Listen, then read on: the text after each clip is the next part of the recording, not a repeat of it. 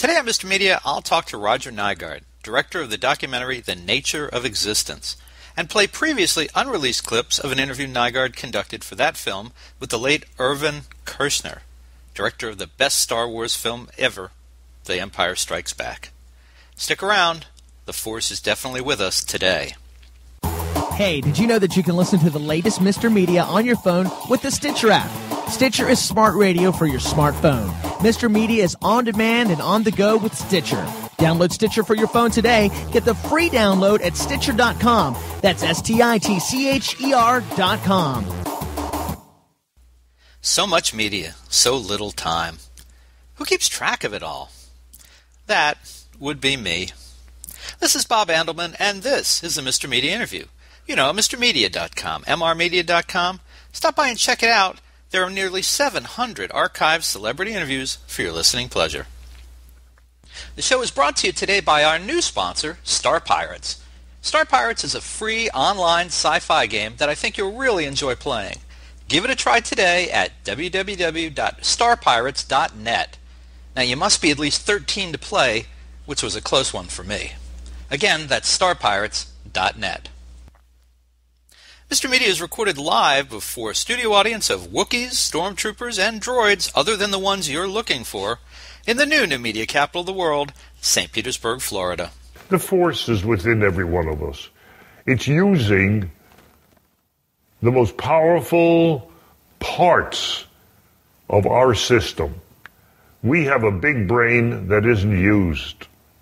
We don't know its potential because no one has ever pushed it to the limit. You might say to someone like Isaac Newton, you might say to somebody like Einstein, there are many, many men who have pushed it pretty far. Even Nietzsche, who I think is fantastic as a philosopher, they pushed it pretty far. But nobody has really taken advantage of the human brain. And there's your answer. The DVD of The Nature of Existence hit stores just before the late November 2010 death of Irvin Kershner, who was the beloved and respected director of the first and best Star Wars sequel, The Empire Strikes Back. Nygard, director Roger Nygard, director of The Nature of Existence, interviewed Kershner for his documentary, and we asked him to return to our show and share some outtakes from his interview. The nature of existence is a far more serious study, perhaps, than the works for which Nygard was previously best known, Trekkies, and its sequel, Trekkies 2. But honestly, it's just as much fun and just as entertaining. And you can order a copy of the Nature of Existence DVD right now at a great price at MrMedia.com, MRMedia.com. Roger Nygard, welcome back to Mr. Media. Hi, good. Th- thanks. It's fun to be here. Glad to have you. We enjoyed having you the first time. And I got to ask you, um, tell folks just a little bit about how this film came together before we start uh, with the, the, the clips of Irvin. Well, I had my own personal existential crisis that began maybe when I was seven years old, and decades later, that obsession with existentialism finally intersected with my filmmaking, and I realized I could interrogate my friends about all these questions and issues that I had. And I had started doing that, and I thought, why not put it on film? Hmm. So I started interviewing my friends and asking them the, the, questions that I was wrestling with. Why do we exist? What is our purpose? What is religion? Define the word God. What is faith, truth, the soul, the afterlife? Is there a heaven? Where exactly is it located? Etc. And as I interviewed my friends, I realized I needed to sort of broaden the circle. So I began researching and contacting other people, like scientists and religious leaders. And I didn't limit myself to, to the religious and philosophical experts. I also broadened it to kind of the whole spectrum of, of, of, humanity, including my neighbor's daughter, for instance, wrestlers, pizza chefs, and film directors. And Irvin Kershner is someone who consented to an interview. And he is, I would have to say, one of my favorite people that I interviewed for, in making this film. It's interesting, as people will hear in a, few, in a moment or two, when you hear his voice, uh, and knowing, sadly, that he's talking to us, you know, he's no longer with us. He has this this great voice. Uh, it's just uh, I was listening to it again this morning and thinking it's kind of eerie. I don't know. It's it's, it's a, just a great voice, and he's talking to us about, as folks will hear about beliefs and religion and the afterlife. Um, we uh, we opened with the, the clip of him talking about the force. Uh, it's just uh, it sends chills up my spine to hear him talking about these things. You know, he, he was a teacher. He was George Lucas's teacher, mm-hmm. and, and he speaks with authority. And when I interviewed him, I think that that authority was underlined by the fact of his age. I think the older someone gets, the more definitive they become, and the less they care what people think about their opinions, and the more they're willing to speak truth. Mm-hmm. And I felt like Irvin Kershner was was speaking truth to me from his heart, from what he truly believed. At the end of the interview, I mean, he was sort of nervous about, you know, I've said a lot of things here I've never said before, and I'm a little worried about, you know, maybe I was a little too forthright. And so I and Mo Ramchandani, who is one of the associate producers on my film, who introduced me to Irvin, we assured Irvin that we would would take great care what he said and how he, you know, he was portrayed in the movie. And I sent him a copy of the film, of course, you know, and and uh, uh, kept him in the loop. Mm. I like when he talked about the force. He talked about we have a big brain, which reminded me of uh, uh, Quentin Tarantino's uh, film uh, Pulp Fiction, where Sam Jackson says to John Travolta, "Check out the big brain on Brad," you know, making fun of some guy that they're about to blow away. anyway, I got a kick out of it. I don't think he had Pulp Fiction in mind when he said it, you know. But um, let's let's talk about some of these clips. Um, uh, starting with, um, he talks about truth. Um, he said you asked him about truth, and he said um, thing I really liked. What people will hear him say is, "If if I knew truth, I wouldn't be talking to you right now." well, it's a constant search, and that's part of the, the the film I made, and a big part of the film is how do you know truth? How do you find truth? How do you discern it from all the information that, that's bombarding us every day? So I asked everybody, and I asked Irvin, you know, about truth. What is truth? What is truth? If I knew what truth was, I wouldn't be talking to you now. I'd be sitting down and writing great, great books about truth. And that's what Spinoza tried to do, and Kant, and all the great philosophers. They were looking for truth. And I think they all found that there was no truth. Truth is, is the extreme quality of, of uh, let's say, of uh, investigation an investigation is what truth is about. In other words, why talk about truth unless it's tied to something specific? I want to know the truth about what? About the universe? Oh, I'll study cosmology. I want to know the truth about uh, what makes life? Well, I'll study zoology, botany, I'll study the uh, physiology, I'll study all these things and get to get closer to some element of truth. But the concept of truth in a religious sense, there's no such thing. You can't prove anything. You can't see it, smell it, hear it. So what, therefore, is truth? Truth is as relative as anything else in life. It's relative. You can, if you're with other people who believe the way you do, you've got the truth. If you're with people who don't believe the way you believe, it ain't the truth. It's relative. And that's, that's for some people the curse of life that they can't find one thing that settles them down and says, this is what it's all about. No. Only art comes close to trying to, I said trying to answer truth. We're back. We're talking to um, Roger Nygard about his film, The Nature of Existence, and playing these clips from one of his interviews with, uh, or from his interview with Irvin Kershner, uh, director of uh, the Star Wars sequel, The Empire Strikes Back. Um, another one, uh, you talked to him about hope, and he said, "This was I love I love this." He said, "Hope is a stupid concept." wow, you know, good point. Well, it's sort of like wishing and praying and hoping for something as opposed to actually doing something about it. If you're going to sit somewhere and hope things get better, you're at the mercy of whatever happens. Isn't it better to go out and, and, and make something happen? And maybe it helps though if it kind of psychs you up to do something. I mean, that's maybe one benefit of prayer, for instance. It's really self motivational, positive talk. And if it has an effect, if it has a positive effect, great. But I think the point is go out and do something. We all are adrift in a very complex universe. In our lives, it's very difficult to know what's, we never know what's coming next. We don't really see clearly what's around us. And suddenly, here is somebody who comes along and says, I've got the answers for you.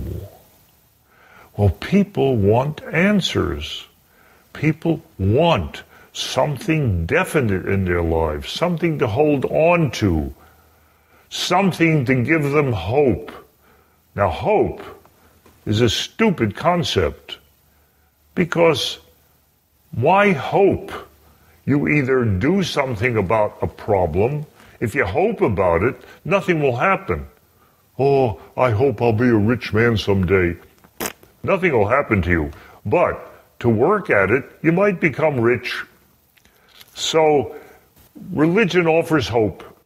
Now, tell us a little bit how you phrase the questions, because we have the answers. We have uh, Irvin Kershner's answers. Um, the next one we have is um, Irvin on belief, and he, he, he says in this, he says, belief is amorphous.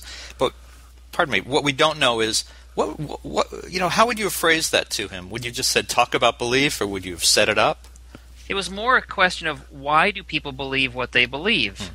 And I had sub questions too, and it really falls under the religion category in one respect. You know, um, should religions be challenged, and what does fear have to do with belief?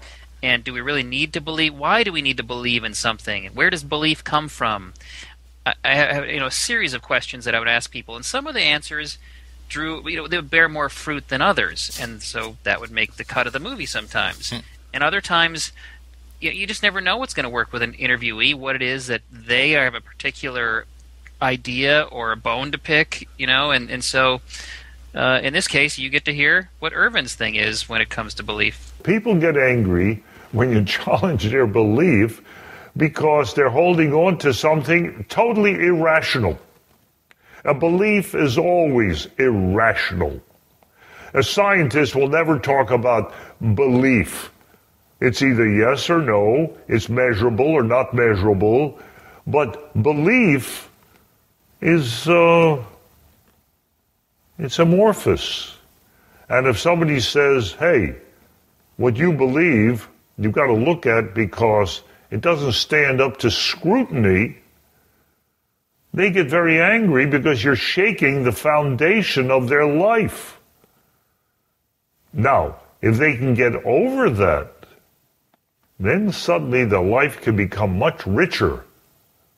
A little more scary, maybe, but richer. Well, let's take a uh, let's take a quick break. This is Bob Andelman, and you're listening or watching the Mr. Media radio interview with Roger Nygard, director of the documentary film *The Nature of Existence*, and we'll be right back. Hi, I'm Julie Bowen, and I am a face of influenza. Health officials now recommend everyone six months of age and older get immunized against influenza this and, and every year. We all are faces of influenza. Vaccination is safe and is the best way to help protect yourself and your family. The American Lung Association urges everyone six months of age and older, and we mean everyone, everyone. to get vaccinated.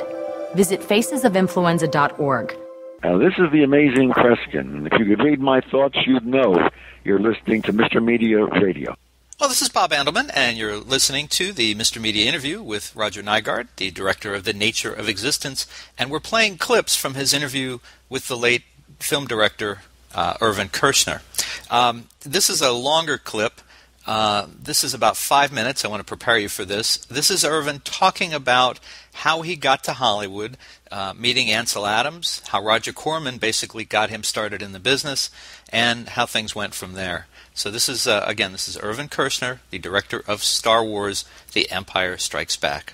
I went to high school in Philadelphia at what we called a slum school, South Philadelphia High. I went into the Army, in the Air Force, for three and a half years in the European theater, and sometimes flew bombers and did other work. I came back and decided I no longer wanted to be a musician, which is what I was my whole childhood. I composed, I played the violin and viola, and this was my life. But I decided, after the experience of the war, that uh, I would not be a musician. And I thought I should become an artist, a painter. And so I went uh, and enrolled at Temple University in Philadelphia and they had one of the finest art schools in the East, the Tyler School of Fine Arts. I began my official studies there. Then I uh, went to New York, which was inevitable, and studied with Hans Hofmann, who was the great teacher at that time of all the the, the people who became the abstract expressionists of the 50s and 60s. From there, I decided to go uh, to California and enter the Art Center School that I heard had great courses in art and photography. And so I just about got here in an old jalopy and got accepted by the school, showed them my work, and suddenly became a photographer. I got to meet Brett Weston, the old man Weston, Ansel Adams, some of the really great Steichen, some of the really great photographers, and decided this is what I wanted to do.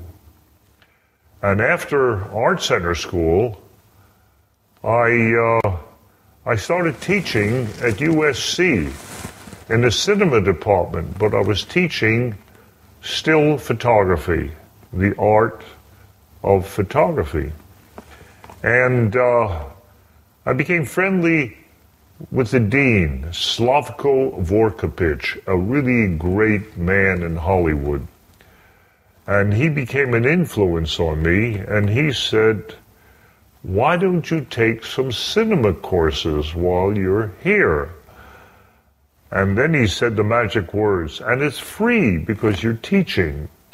And so I closed my business and began to take courses, which I took for two terms in cinema.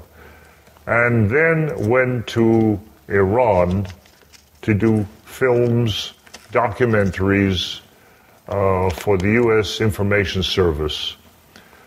And that started a whole documentary experience in Greece and Turkey and Iraq and Iran and Lebanon until I came back here and started a very important TV show called Confidential File.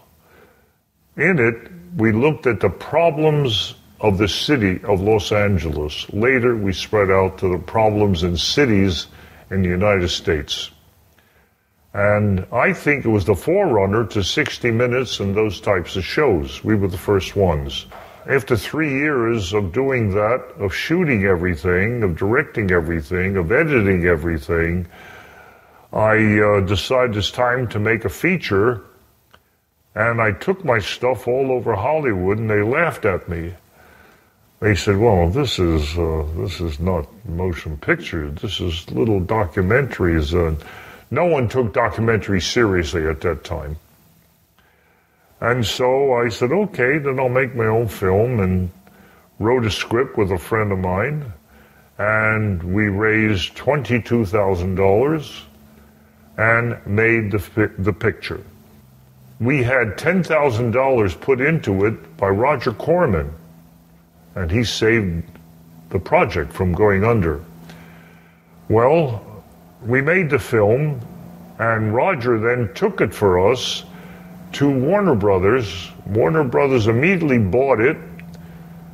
I got myself a uh, first payment of 150,000. I felt I was as rich as I'll ever be.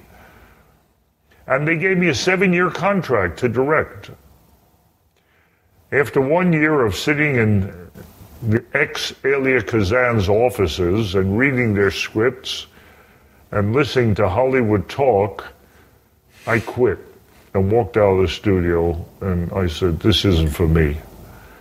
And I began the saga of trying to make independent pictures in Hollywood. And I can only advise any young people don't do it because it's a killer. they don't want you. Yeah, it was good. It was kind of lucky at the time. I didn't realize that he was going to give me such an extensive bio.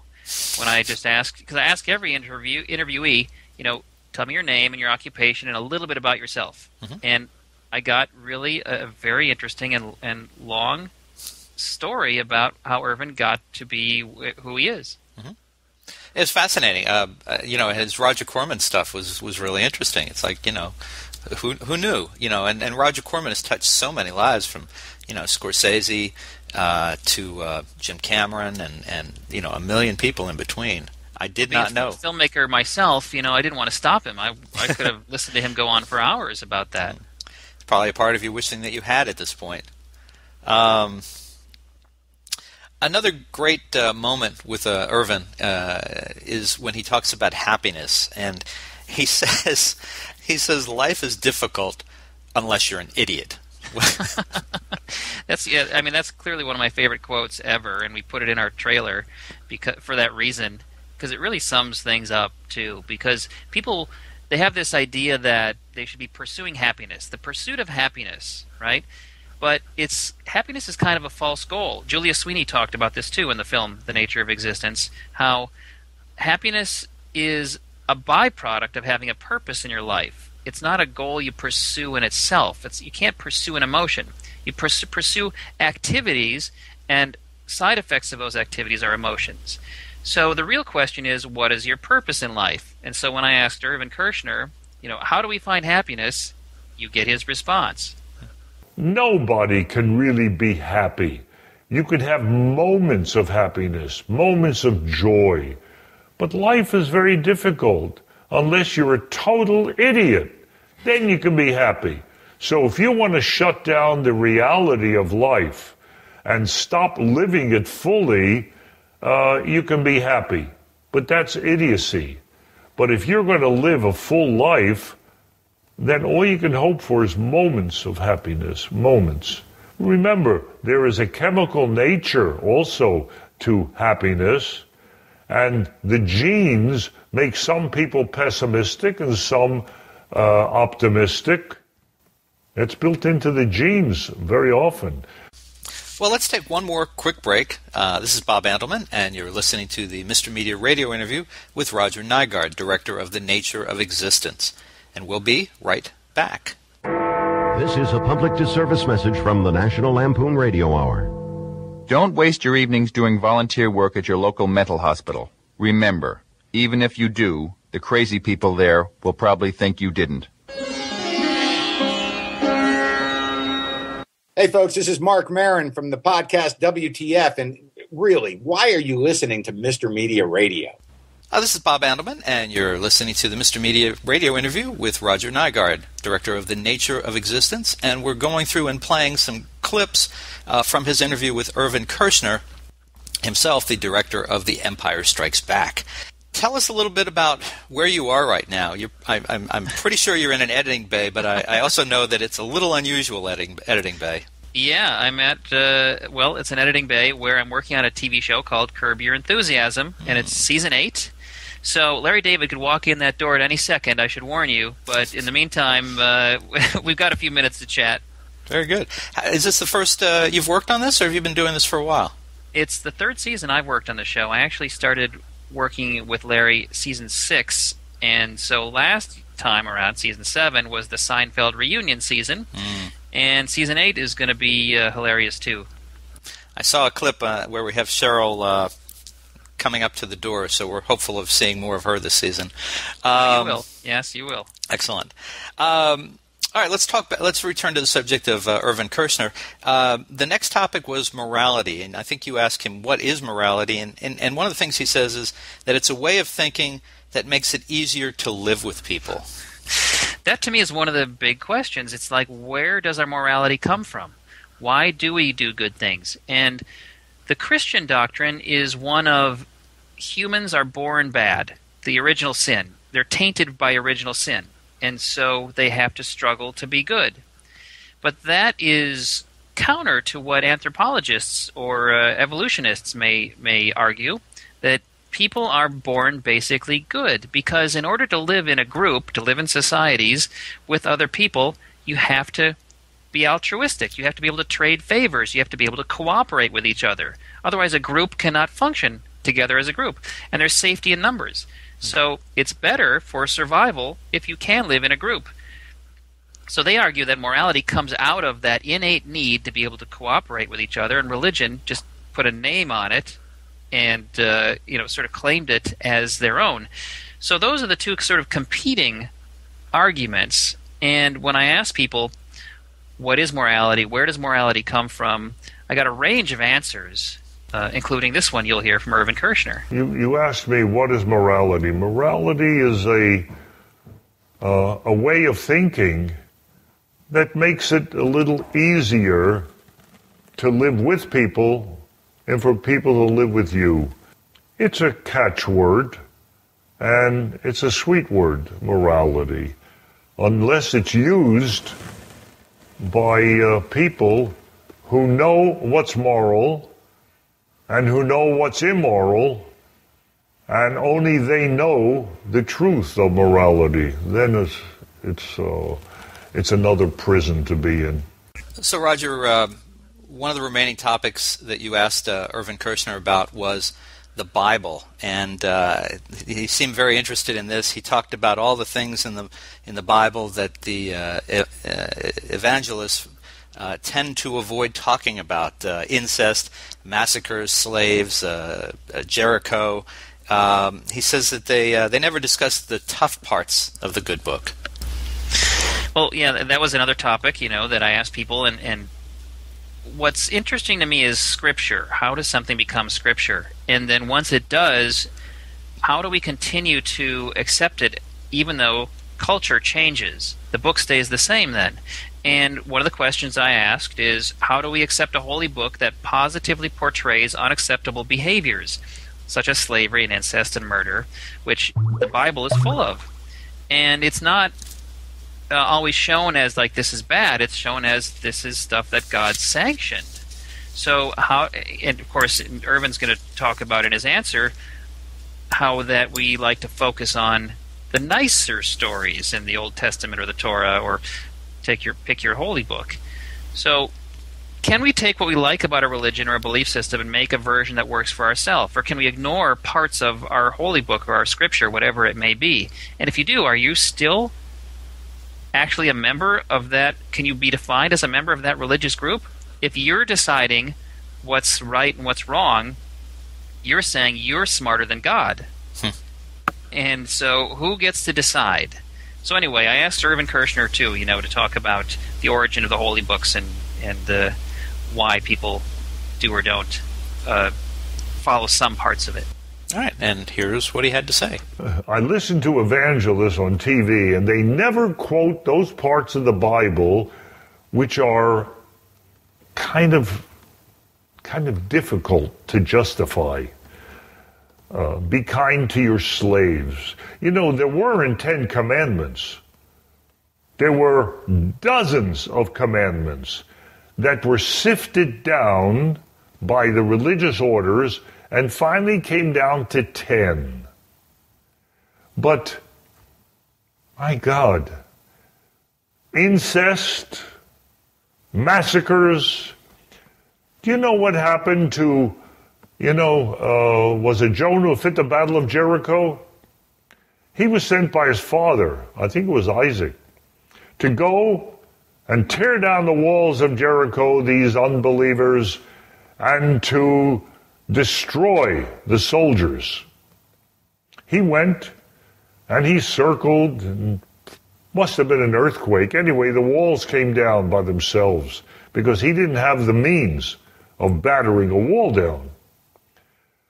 He went in and massacred the soldiers. He came back. He says, The deed has been done, Father. Uh, Jericho is no more powerful. He said, Mm hmm. Uh, what happened to the women and children? Oh, they're there.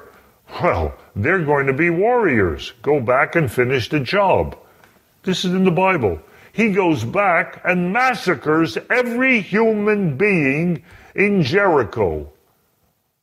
Do you ever hear about this from these missionaries and people?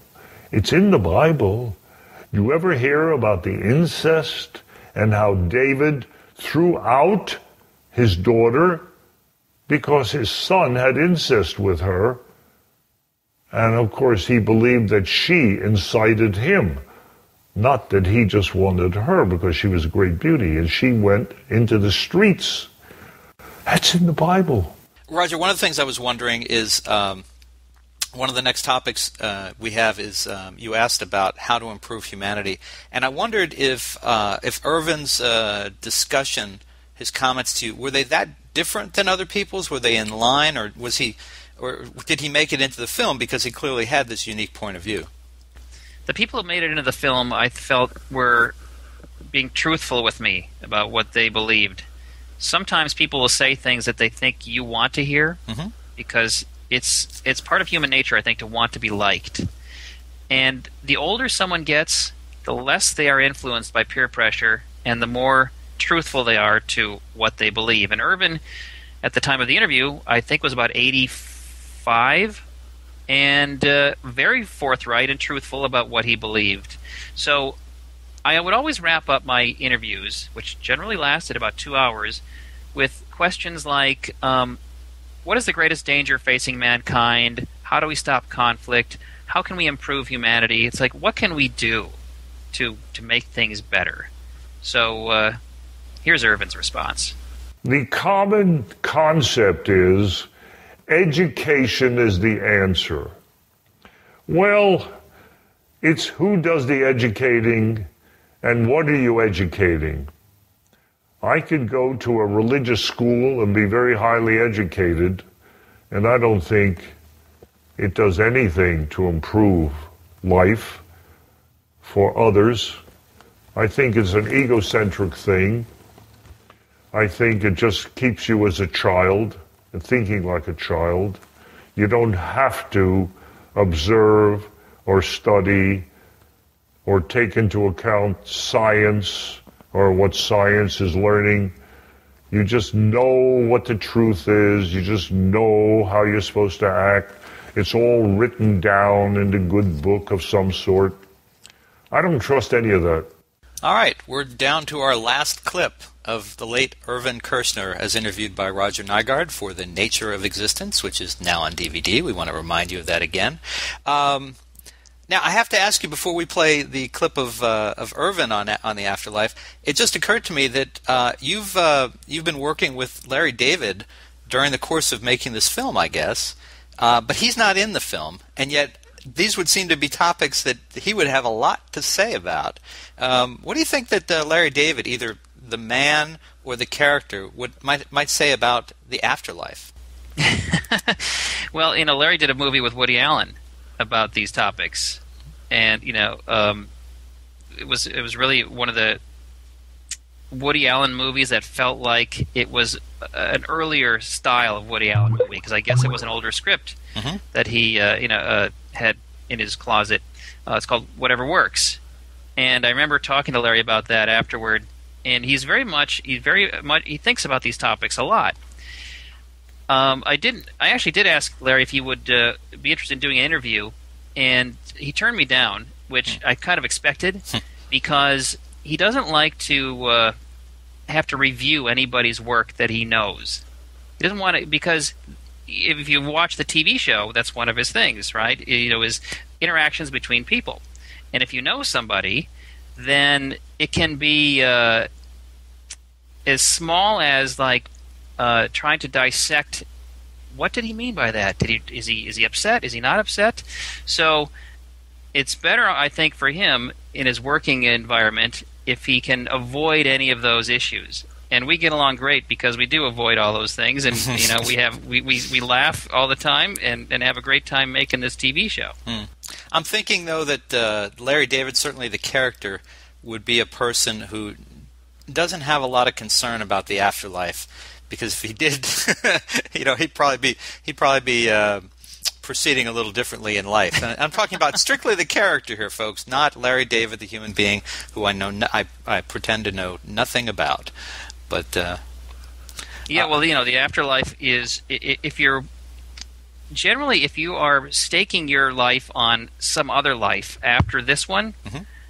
I feel like you're probably wasting an opportunity to maximize this life and you're probably not fully satisfied with this life if you're hoping there'll be something better where there's a reckoning of accounts you Mm-hmm. know as as uh, what heaven is supposed to be where everything is set right now whether there is or there isn't it seems to me the best thing to do is to try to make the most of right now and if there is you get a bonus but if there isn't you may have wasted an opportunity Yes, there is an afterlife. The afterlife has to do with what remains in the memory of the people that you have known. And also, if you've left any work behind. Now, sometimes the work you leave behind is the good nature in people.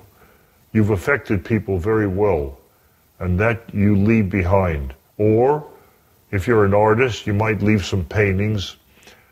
You know, that's that's pretty good. Michelangelo left a hell of a lot. He lives on. When you go stand in front of the David in the National Gallery in Florence, it's the most awesome thing in the world to say that a human being made this. And he died. But this is alive. When I go, I go. I go into the ground and I take my place with the other bacteria in the ground. That's it.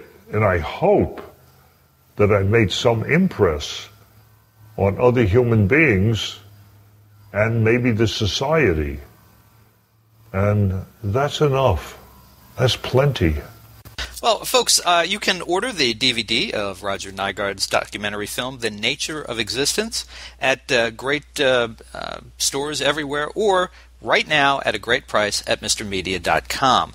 Um, you can also learn more about the film at its website, thenatureofexistence.com, or you can find Roger and the film. Uh, you can find clips there. You can find it. You can find clips on YouTube. He's got a Twitter account. He's on Facebook. He's on Vimeo. Uh, my sense of Roger is that if there's social media out there, he's got his film with a position on it. Um, Roger, this was a lot of fun. We really appreciate you uh, reaching into the vault and uh, sharing these clips with us uh, from uh, uh, Irvin Kershner, the uh, director of uh, Star Wars: The Empire Strikes Back. And thanks so much for coming back to Mr. Media. You're welcome. Yeah, I thought it'd be a great way to remember him, especially since what he said was for him the afterlife is in what you leave behind and how you're remembered. So it was a way to really remember Irvin Kershner and, and all the wonderful things that he had to contribute. Well, uh, folks, of course, for uh, more original interviews with your favorite film directors, you can surf over to our main website, mrmedia.com, mrmedia.com, and subscribe to Mr. Media on iTunes, and you'll never miss a show. Just search Mr. Media interviews from within iTunes and subscribe for free. You can also listen with a piece of string and a tin can in many locations. If you've got an idea for a guest, uh, a comment on today's show, or would like to advertise on Mr. Media Radio, email me directly at bob at mrmedia.com. You can also follow me on Facebook or on Twitter. It's twitter.com slash Andelman, or on Facebook, just search Mr. Media Interviews. Thanks so much for joining us today. Always appreciate you giving up a little piece of your day and coming spend it with us. Thanks for listening. Luke Skywalker and Han Solo rescued the princess, destroyed the Death Star, but their story didn't end there.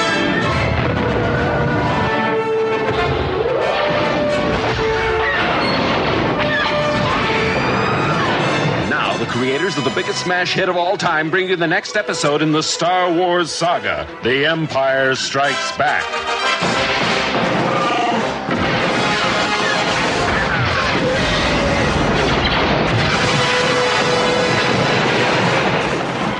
The continuing story of our band of heroes Luke Skywalker, Princess Leia, Han Solo, C3PO, R2D2, and Chewbacca. And introducing Lando Calrissian. It's an epic of romance.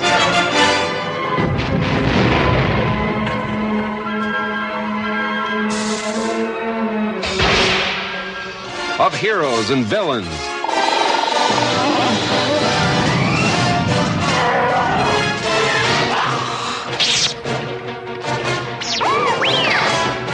They cross trackless voids to unknown worlds.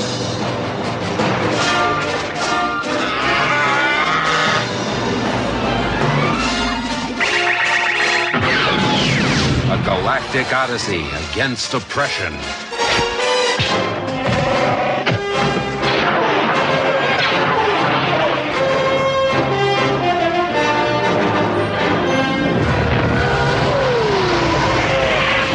Big, new, sprawling space adventure in the Star Wars saga The Empire Strikes Back.